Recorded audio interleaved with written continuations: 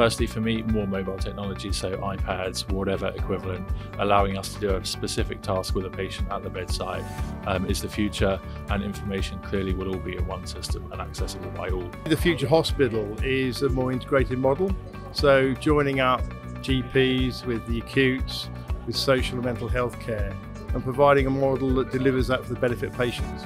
I think the future hospital will have a lot more augmented reality, artificial intelligence. I believe the patient will be more in control of their care. Um, I also think we'll see a lot more telemedicine. Actually, I think we can do a lot more just with investment in basic things. Now, that is not to say that in future we will not see uh, artificial intelligence and uh, technologies like voice recognition making a huge difference. We will, and they'll make huge efficiency differences. It's full focus on the patient.